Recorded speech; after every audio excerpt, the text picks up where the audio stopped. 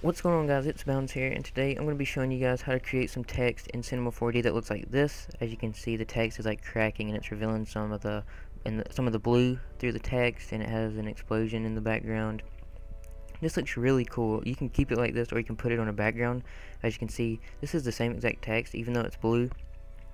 If you guys didn't know, you can change the color in Photoshop. Um, but if you guys want to see how, how you can put it on a background and make it look like this, just let me know and I'll be sure to release a tutorial on that. But for this tutorial, I'm just going to show you how to create the text itself um, in Cinema 4D. So let's go ahead and get into that. I'm going to be using Rated Lightroom. You can use whatever you want. Um, I don't think it makes a difference, but it does look better if you are using some sort of Lightroom. So first thing I'm going to do is MoGraph mode text and you get this right here. And if you get an object change the text. You can use whatever you want. Um, for this tutorial I'm just going to do um, do you tut? Um, let's see font. Um, let's see. I usually go with like a clean looking font. I don't think uh, like block fonts would look good for this. I mean it might. You can you can try. But let's see. I'm gonna go with Manteca right here. It's kind of a clean um, font. So next thing you want to do is change the depth. You don't want to make it too far back and you don't want to make it too skinny. So I'm going to go with probably 65 for this. Looks good. Um, so yeah, don't make it too far back. Don't make it too skinny. Just make it, you know, just make it look nice. Alright, so next thing you want to do is you want to drag your colors that you want to use on here. So, as you can see, I did blue in this one. You can use whatever color you want. You can change it in Photoshop. Like I said, I'll show you that if you um, want me to do that tutorial.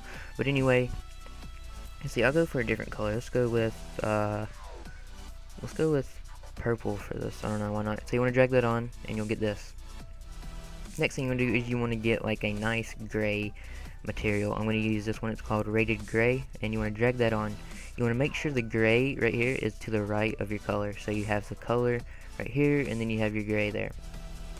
Alright, so basically what that's going to do, it's going to make the gray on the outside and the color in the inside, so when it cracks, the color is on the inside, and it looks looks nice. Alright, so now what you want to do is you want to duplicate this whole text. Just let me move this back down.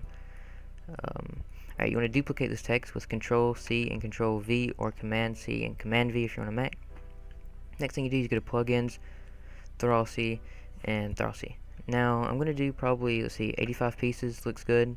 Um, it'll give it, so it'll look like this. So the more pieces, the more cracks you want, do more pieces. Um, the less cracks, do the less pieces. So I think 85 looks pretty good. So once this breaks, you'll see we have these pieces over here with the red X. Just go to MoGraph, Effector, and Random, and it'll do nothing. That's because these X's are red.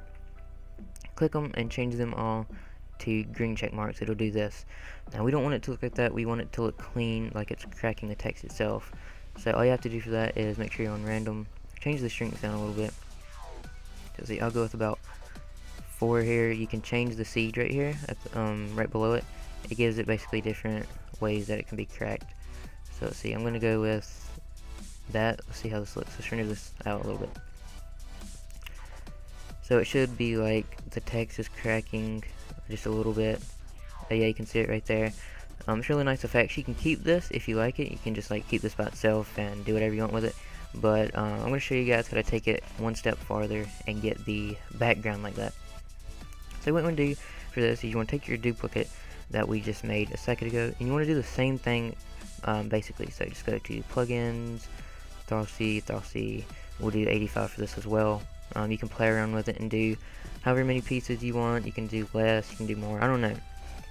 But 85 I found looks good. So, um, yeah, what I'm going to be showing you guys. And for this, let's just go show you. Um, you can do, you know, whatever. You can keep it. You can, like, explode it. You'll see here in a second. You can keep it exploded or you can really do whatever you want. It's just personal preference from here. You can do whatever you like. But I'm just going to show you how to do this and what I think looks good.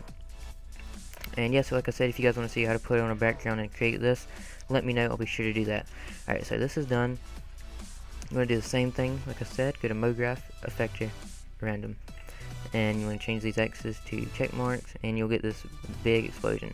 Um, what you want to do from here is you want to change your angle, and you want to make this one, make sure you have, like, click on the first Thrausi piece right here, shift click on the last one, and you want to move it behind the text, but you want to keep some pieces in front of it to make it look good. So let's see, I'll do right here. I don't know, we might move that back, we'll see how it looks. Um, but I think that looks good. We might change the randomness strength down a little bit. So let's see. We'll do about 80 some. Like I said, you can play around with this all you want. I'm gonna keep it like that. So if we render out a little piece of this, we'll see how this looks.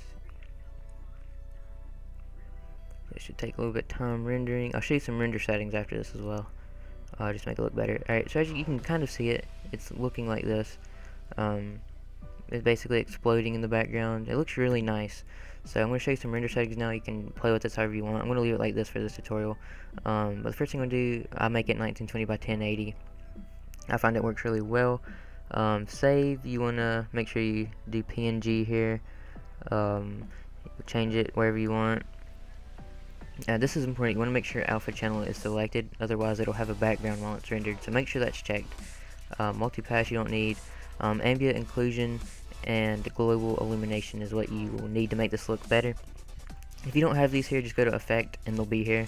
Um, just make sure you have those selected. I use default settings on here, um, but I might change this actually. So go to global illumination and go to irradiance cache, guess that's how you say it. Um, go to that and sophisticate, stotch, I don't know how to say it, but the first one, uh, make it medium or high, whatever you want. I'm gonna go medium. But anyway, we'll render this out and we'll see how this looks here. So I'll be back when this gets done rendering and we'll see how this turns out. Alright, so as you can see, the text is finished rendering and it looks pretty sick right here. So let's just go ahead and open this up right here. And it looks really cool. So if we compare this to the other one, basically looks the same thing, just different color.